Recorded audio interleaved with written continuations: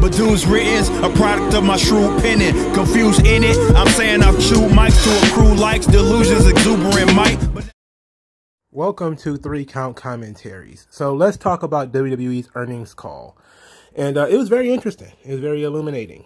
There were some things about it that I really enjoyed because it, it opened my eyes to a couple of things, which these things tend to do. So because I don't know what how I'm going to schedule the uploads, I will not be talking about the Vince McMahon AEW thing in this video. That's going to get its own video.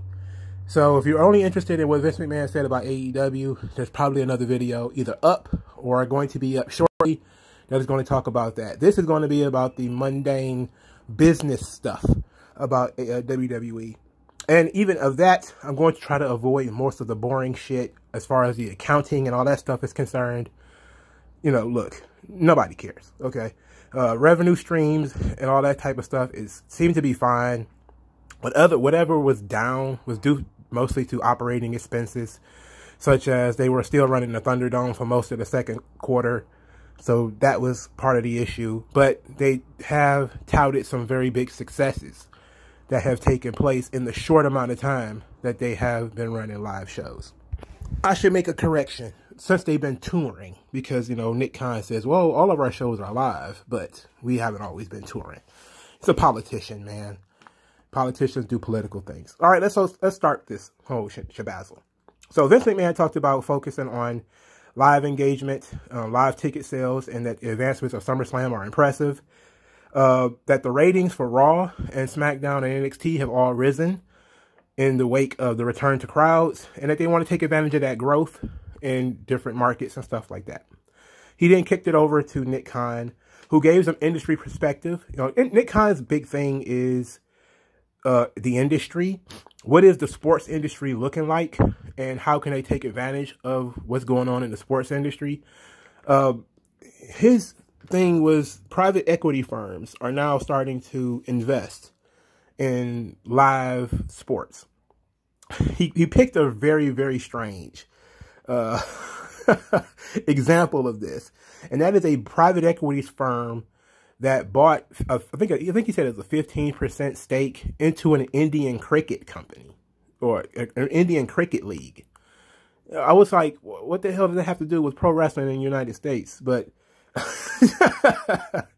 he's he basically saying like live sports and live um, attractions in general are being are people are still investing in them, and this is what WWE does. So you know, again, sometimes you know he has a, a political way of, spinning things. But he also says like, you know, hey, all of these different leagues, the NBA, the NFL, all of them have saw their rights um, increase as far as their partnerships with uh, various platforms. And that's what we could be looking forward to in the WWE. Like maybe not on that. I mean, he was soccer was asked about later, or what they call international football, quote unquote. And he says like, wow, WWE is not up on that on that uh on that stage because soccer is the most uh, successful and the most popular sport in the world. It's just a good standard to look at and to engage, you know, what media companies are willing to pay for uh, popular uh, international sports, which he's, he considers WWE to be. So he continued um, talking specifically about the WWE in that, you know, there is growth in their international deals, that they have uh, new deals in Australia, and that the WWE is licensing long term in the network. Um, and now that the Peacock is going to be open to Europe and the UK. And uh, of course, everybody was cringing at this idea because people were like, no, I love the network. And now they're going to douse it with Peacock. And so now we're all going to have shit pay per views now. Yeah. Welcome to the club, Europe. Um, but I don't, I don't think it's official yet, but they expect it to be. Um, so he then touted the success of Peacock and how, you know, the increased uh, spread of Peacock has led to some phenomenal increases in the viewership of their uh, pay-per-views, such as a 26% increase in Backlash, WrestleMania Backlash, which I'm pretty sure adding the title WrestleMania to WrestleMania Backlash actually helped with that. Um, there was a 25% in the next event, but I forget what it's called. You know, it's right. I don't want to waste my time sitting out here thinking about it. But it's a 25% increase in viewership there and a 46% increase in money in the bank. So 46 more people, 46% more people watched this money in the bank than watched last year's money in the bank. So all of this is compared to the year over year. Um, and I'm pretty sure money in the bank was definitely boosted by um, not just being on Peacock, but also the return of live crowds.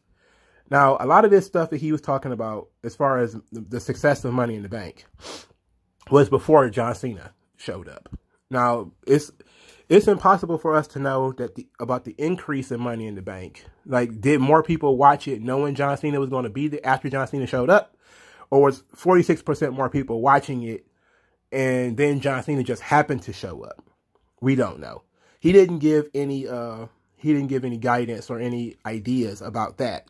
But when he talked about the success of Money in the Bank in terms of the financial success, that it was the highest grossing uh, non WrestleMania in this area, uh, in I guess what was this Fort Worth or whatever, whatever the hell that was, and that um, that was of course those are tickets were sold before John Cena showed up.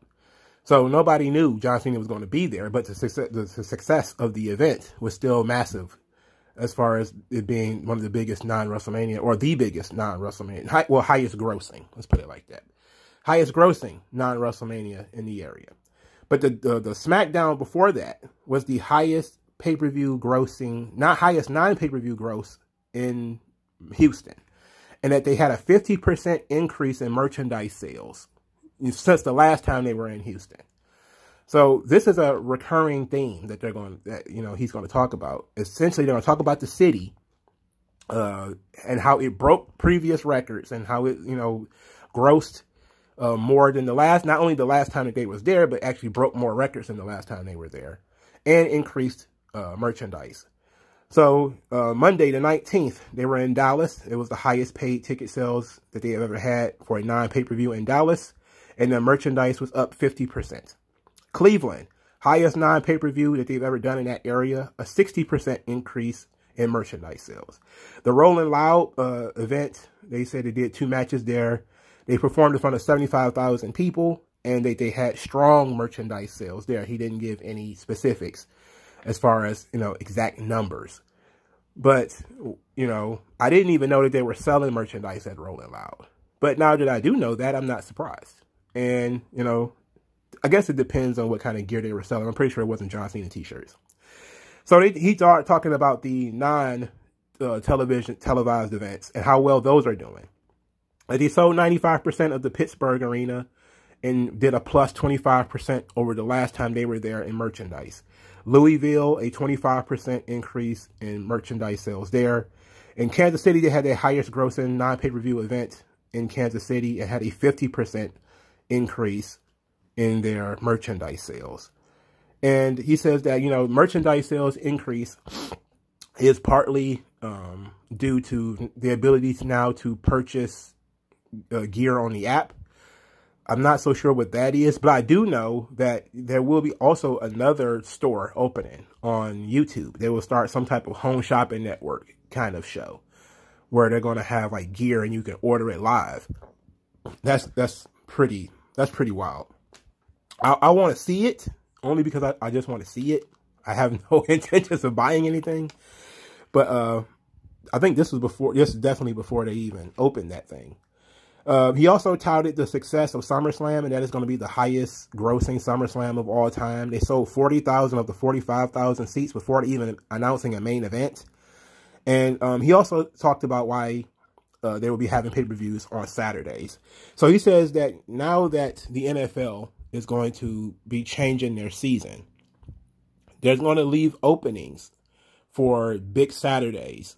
Um, and Saturday is looking like an opportunity. And they're going to try it with SummerSlam, and then they planned another one with the New Year's Day show that they want to do.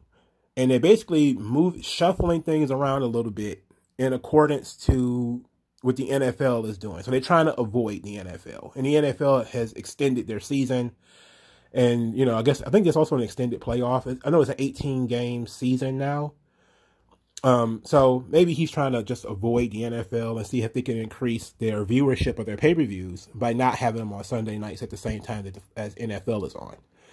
So if that's going to be the case, what about like Survivor Series and the Royal Rumble? You know, and maybe those are stronger events, but what about smaller events like TLC and Clash of Champions?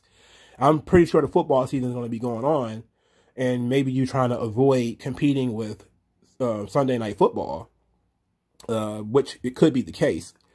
But it's something to think about. Also, college football is pretty is pretty big. But I think if you're looking at it in terms of international, which I'm pretty sure they are, there is no college football in like the UK or anything like that. You know, I don't know what Saturday night sports would be in Europe or somewhere else. Somebody from, from Europe, let me know, or somebody from India or something like that. Let me know what uh, Saturday, what's, what are like big Saturday night sports. Um, but I know in the United States, usually it's Saturday afternoons and Saturday nights are big college football in, in most places. And maybe they feel they could have a better chance of beating college football or at least getting that initial viewership. But I've never seen them have this problem before or care about this before. So this sounds like it might be a Nick Khan thing because Vince has always run Sundays knowing that the football is on and did not give a shit.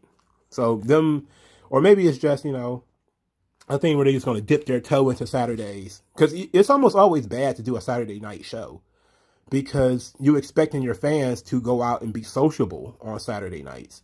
That people are going to go out on dates and stuff like that, or you know, that's a big date night.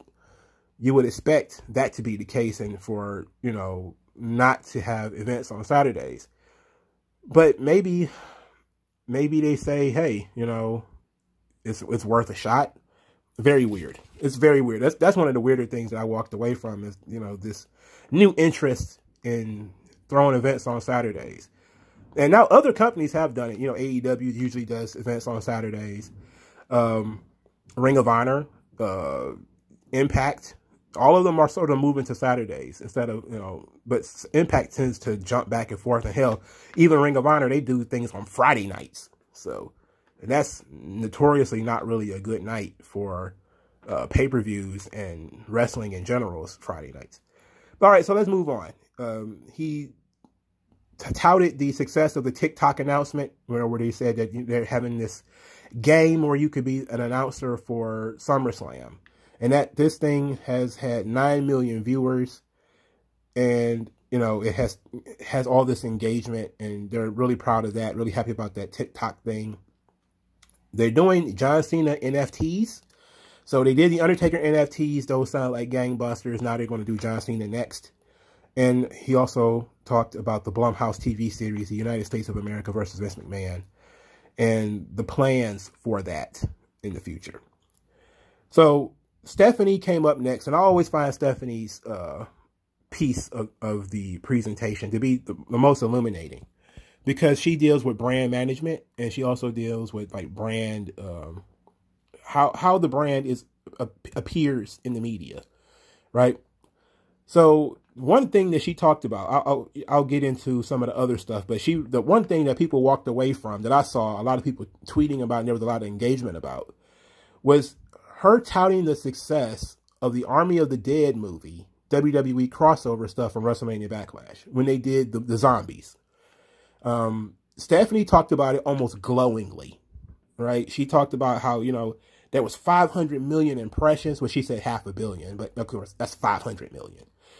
Um, that there was 25 million content views of this zombie thing, and that they, they managed to capture three of the 14 trending tabs with their zombie stuff. And that it increased the cultural impact of WWE, and it increased um, the value of the Netflix movie, and it helped make one make Army of the Dead one of the more successful Netflix films. And you notice that she didn't talk about whether it was good or bad, or whether that announcement was good or bad, or whether the people talking about it was good or bad.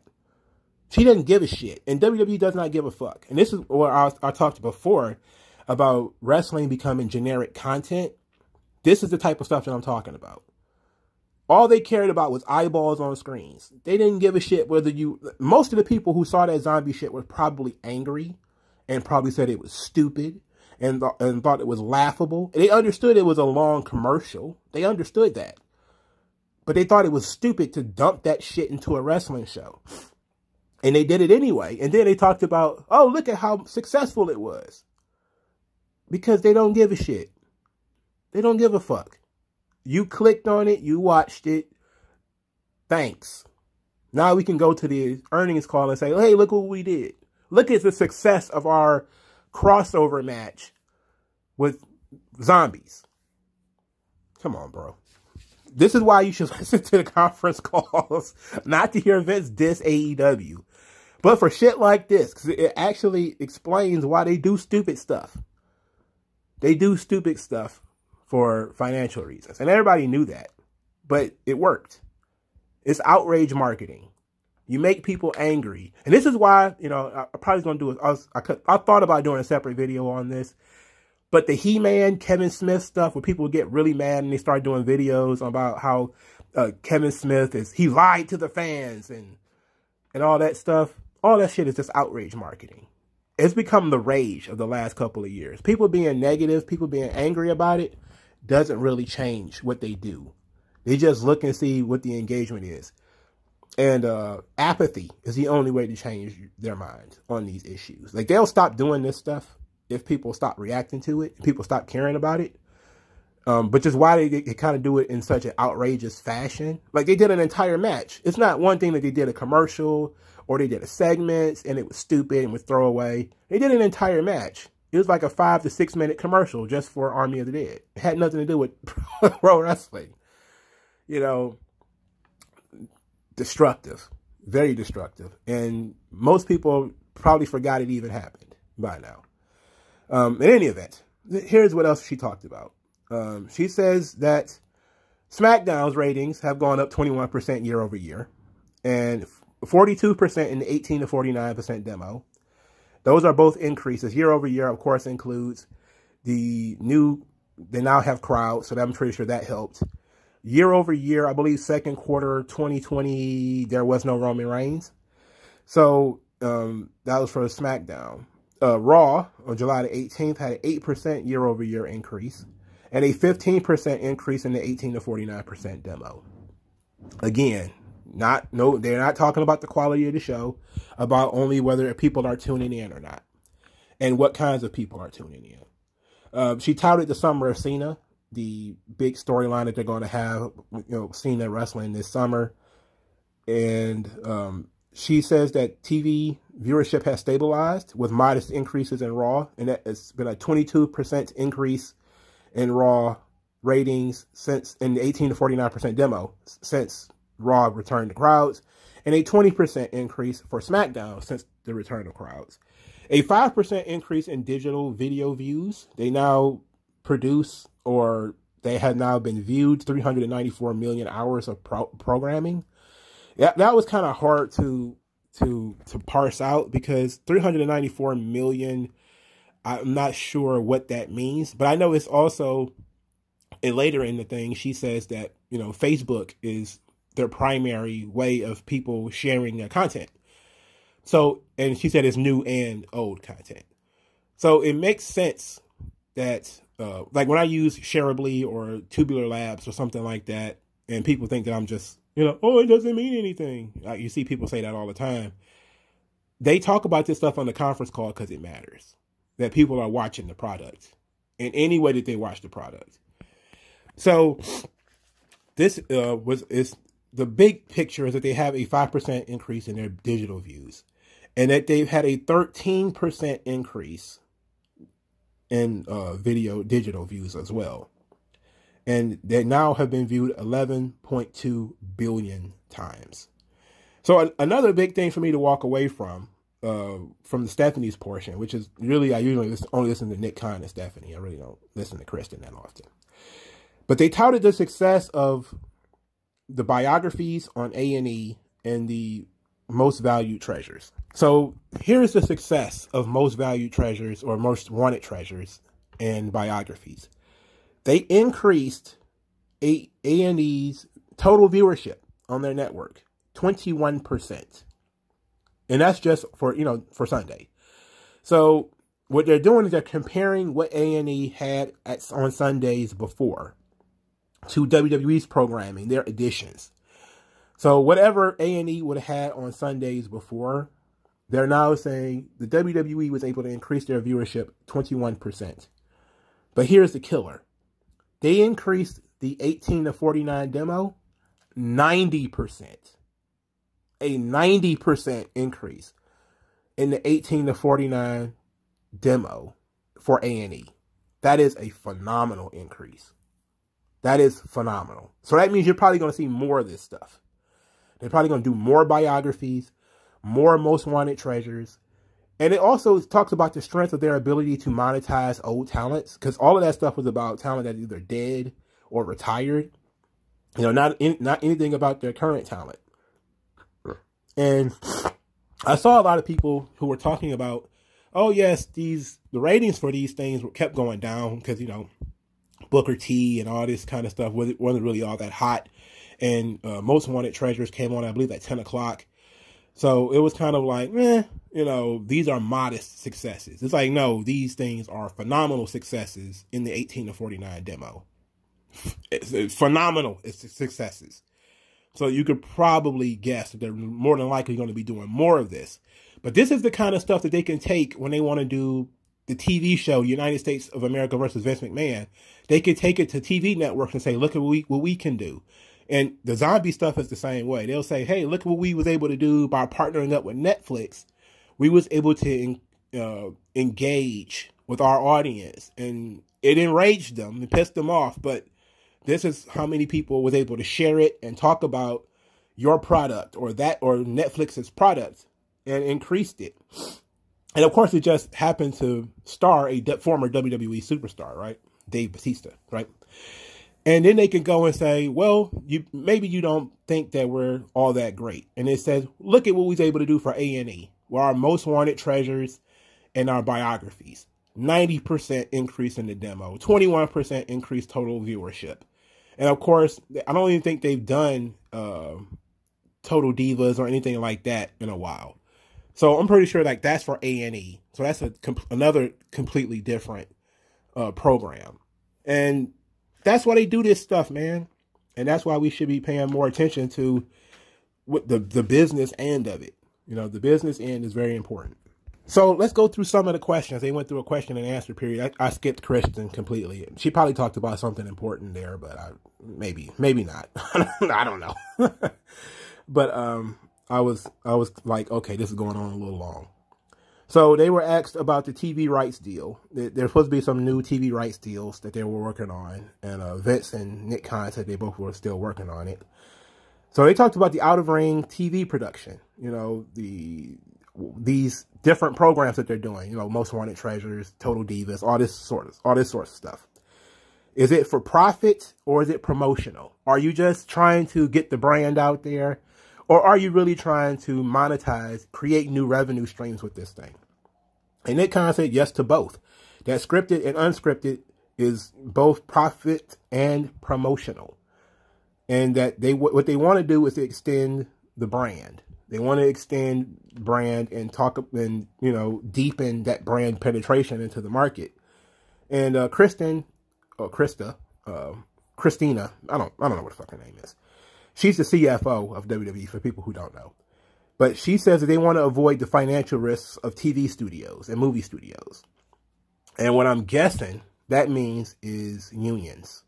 That they want to avoid uh, the high cost of non-scripted television programs. Because, you know, a lot of these, pretty much all of them, as far as TV is concerned, is unionized. Um, I was a part of a TV show once. Uh, it was for BT and the it was a silly show about people cleaning up their neighborhoods and stuff like that. And it was unionized. And and so that meant that, you know, there were people who got like boxes of pizza for lunch and the unionized cameramen and stuff like that were getting like catered lunch because it's in their contract that he cannot be fed pizza. It's ridiculous. Okay, it's absolutely ridiculous. But it increased the cost of production. So that's one of the risks that you would try to avoid when it comes to uh, producing uh, television. And that's one of the things that, you know, I'm pretty sure that they're interested in. They were asked about sponsorships on two different occasions. For instance, they were uh, on one question, they were asked about what are some new and increased opportunities in sponsorships? And another question they were asked is, uh, when can we expect more growth in your sponsorships? And Stephanie answered both of these questions. She talked about it was tough to give projections, but there is clearly an upside now that they can fully engage with Peacock and that their content production is becoming a little bit more popular and that they have increased their sponsorships 43% and increased fan engagement. So they don't, she really kind of answered that question like she didn't understand why the guy would even ask that question. but she was pretty, pretty nice in how to answer it.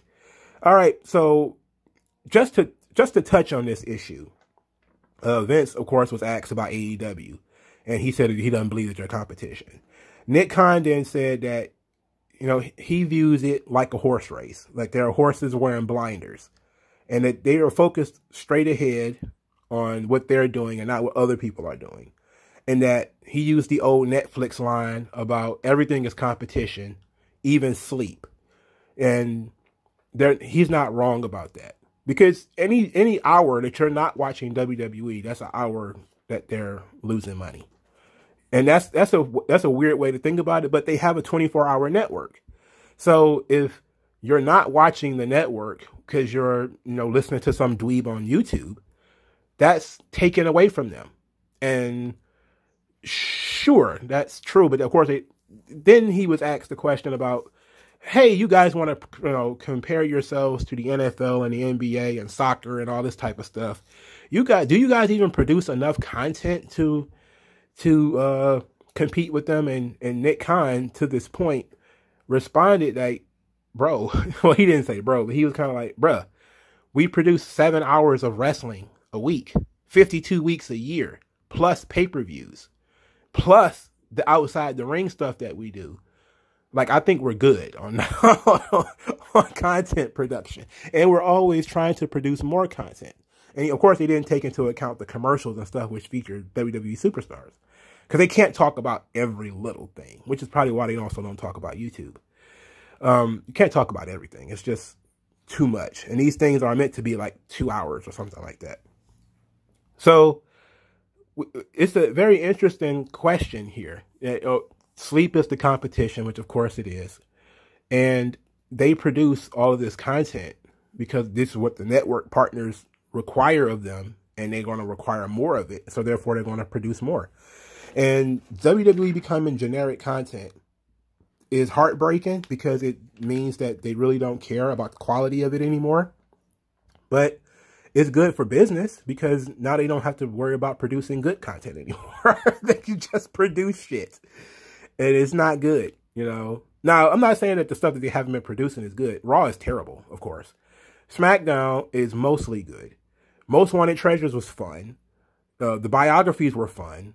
You know, I'm pretty sure the Vince McMahon TV show is going to be excellent. Even if it's going to be a, a load of horseshit, it's still going to be fun and funny. But that's really um, the the content production end of it is they want to produce good content, obviously, but they also don't care if it's shit. You know, so it is what it is. Uh, the last question I'm gonna go over is Nick Khan was asked about combat sports, and there were there, there are new companies that are coming into the combat sports space, and he's asked he was asked if uh, if he expects to see some type of consolidation in combat sports as far as companies buying out other companies. And Nick Khan actually said he wants to see the opposite. He wants to see more combat sports because he says that it's good for business. But he says that the global territory that Vince McMahon created with pro wrestling, with having one national territory, has seemed to work out for both WWE and UFC.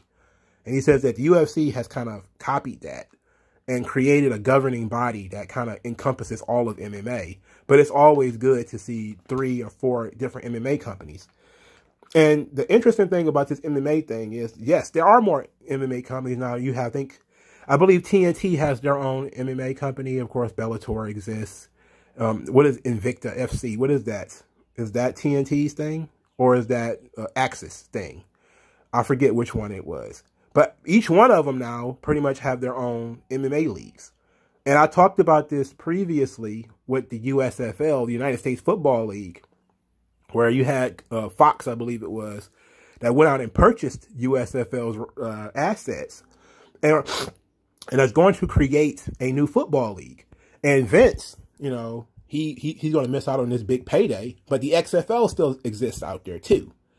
And so what you're probably going to have is people starting up their own MMA leagues, people starting up their own football leagues.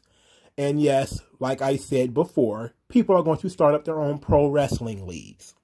It's, it is bound to happen. It's bound to happen.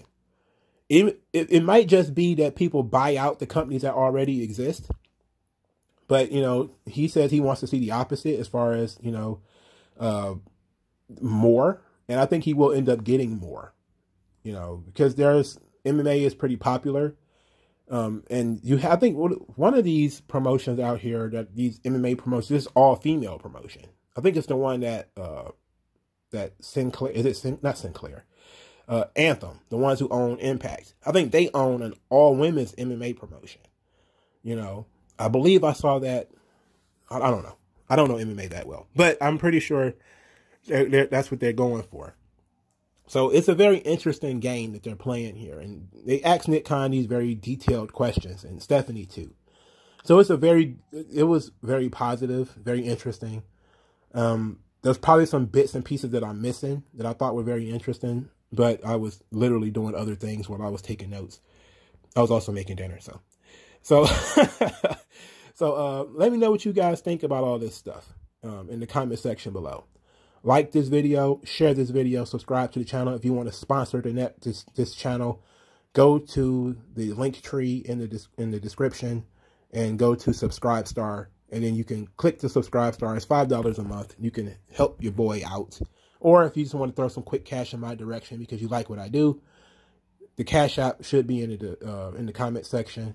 Click that and send me whatever you want, two dollars, three dollars. Lunch on you, you know, a cup of coffee on you, whatever. And um, I'll talk to you guys later, man. Peace out.